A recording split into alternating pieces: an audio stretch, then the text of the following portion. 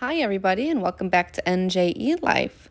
Are you guys ready to make some cookies? Let's get into it. To a stand mixer or a bowl with a hand mixer, add a half a stick of butter. Then 4 ounces of cream cheese softened to room temperature. Go ahead and mix that up a bit. Slowly mix in 1.5 cups of powdered sugar.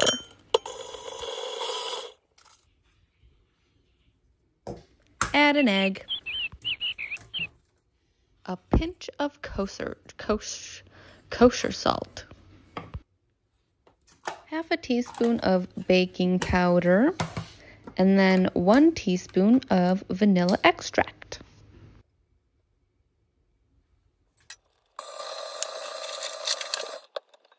Now we're adding one and a half cups of all-purpose flour, slowly as the mixer turns and turns.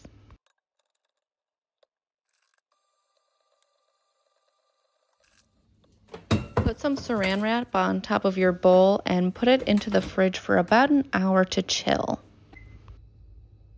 After the hour, you're going to want to preheat your oven to 375 degrees Fahrenheit.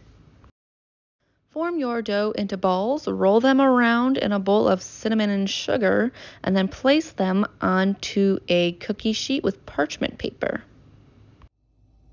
These are the balls that are ready to go right into the oven.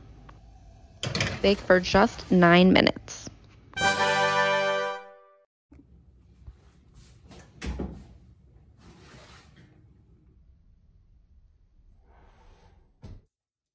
Let them sit for a couple of minutes and then you could add them to a cooling rack to fully cool off.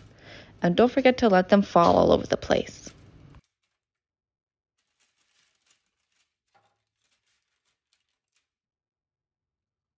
These cookies are so soft and so sweet.